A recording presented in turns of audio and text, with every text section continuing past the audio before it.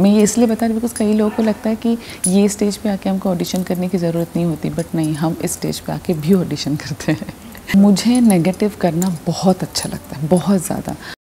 Subscribe करें India forums Hindi को और घंटी के निशान को दबाएँ ताज़ा खबरों के लिए। Okay so I was doing Kamna with the same production house और एक्चुअली uh, वहाँ पर एक uh, बीच में वहाँ पे मेरा कैरेक्टर बिल्कुल वेस्टर्न जैसा था। बीच में कुछ uh, क्या बोलते हैं, उसको फ्लैशबैक का ट्रैक आया था कुछ दिनों के लिए।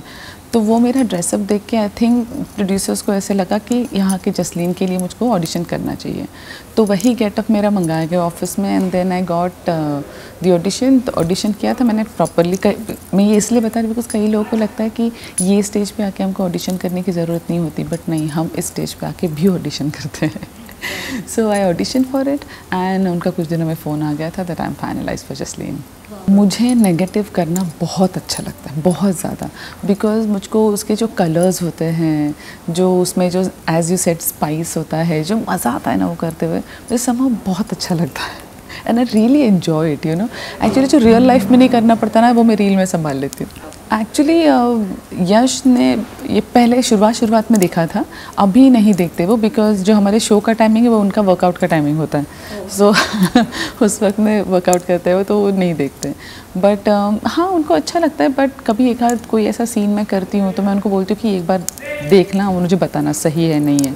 तो वैसा कोई अगर मैं बोलती हूँ तो फिर वो देख लेते हैं। बिल्कुल भी नहीं साहिबा सीरत बिल्कुल पसंद नहीं है मुझको। ना कीरत पसंद है। परिवार ही पसंद ना संतोष पसंद है। मोंगा साहब के बारे में क्या ही बोलें। टचवुड लेकिन हमारे शो में ऑफ़ स्क्रीन हम सबकी केमिस्ट्री इतनी अच्छी है। जैसे हिमांशी है, रूपम है संतोष जी है, अपनी लुबना जी है। लुबना जी के घर का शिरखुरमा बहुत ही अमी होता है, अभी रिसेंटली खाया है, इसलिए मुझे है। सो हमारी सबकी केमिस्ट्री बहुत अच्छी है ऑफ़ स्क्रीन शुरुआत में कुछ कुछ थे जो ऐसे ही हो रहा था, लेकिन हमने सबको खींच तान के ले लिया अंदर अपने ग्रुप में.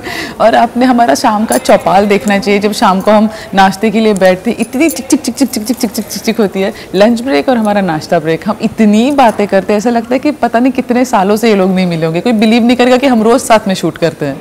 यार ऑफ़ स्क्रीन तो we are more like friends me and गैर मैं उसको गैर ही बुलाती हूँ, तुषार को. तो मी एंड गैर we are like more like friends हाँ एक होता ना एक फ्रेंड रहते हुए जो एक केयरिंग आती है जैसे कि आज उसके बैक में पेन है तो मैंने उसको बोला था कि लंच से पहले मुझसे वो ऑइंटमेंट लेके जाना।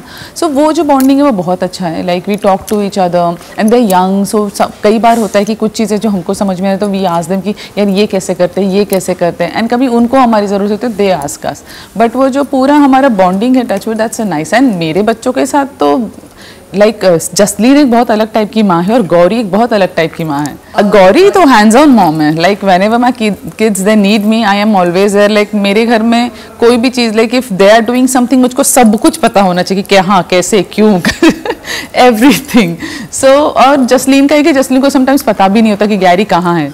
हाँ देखो जो स्टोर में है वो मैं खोल के तो नहीं रख सकती बिकॉज़ uh, थोड़ा बहुत तो होना चाहिए ना। आपको भी तो थोड़ा देखने के लिए वो उत्साह होना चाहिए कि क्या होने वाला है आगे पता लगना चाहिए। लेकिन हाँ एक है बहुत सारा ड्रामा है बहुत सारा एंटरटेनमेंट है बहुत सारा आईब्रो रेजिंग है बहुत कुछ होगा जो आपने इमेजिन भी नहीं किया होगा। सो कीप वॉचिंग तेरी मेरी डोरिया।